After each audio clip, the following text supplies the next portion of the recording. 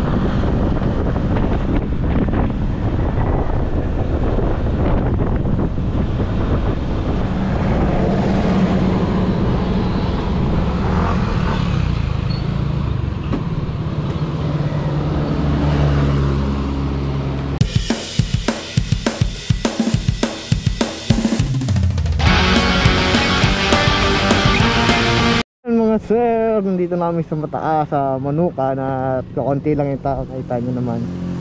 Kaya nga muna kami dyan. Tapos, yung mga ilang ilang rider dito na nakatambay. Ah, ang ganda talaga dito pag weekdays kasi walang tao. Wala no? Sarap. Ayun oh, picture oh. Picture. Yan, post natin yan. Kaso wala signal dito. Alright, pahinga lang kami sandali sir Tapos konti, kuha lang kami ng konting video Dahil siguro merienda kami sa taas Tapos uwi na rin kami Check the mic and make sure it sound right, boys.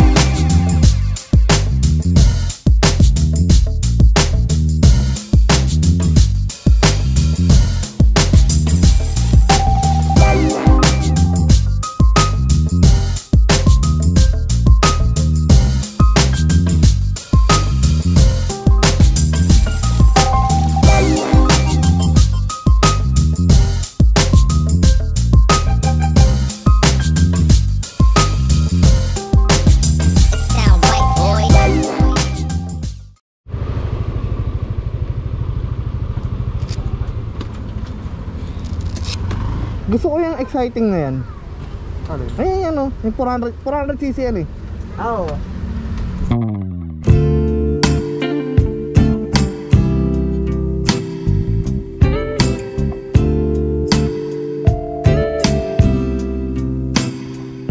So yun mga sir, ah, dito kami sa CK at may merienda muna kami. Tapos tambay lang ng konti and then uuwi na rin.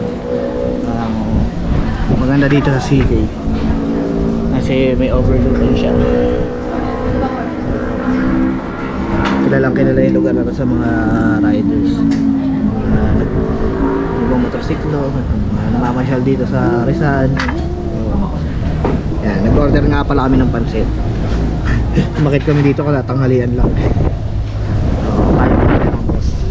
At para sa atin lahat.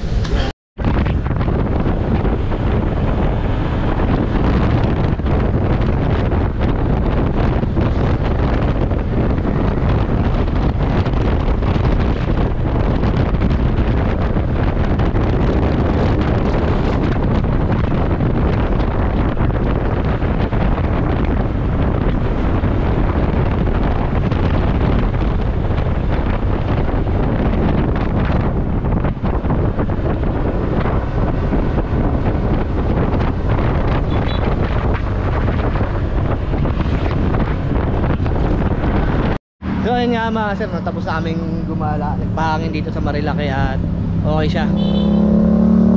Okay na okay yung hangin, lamig, ka nakakawala ng stress.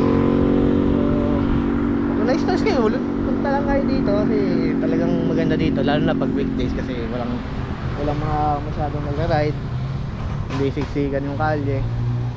So yun, enjoy lang tayo lahat at area sa inyo. Ingat tayong lahat. peace out.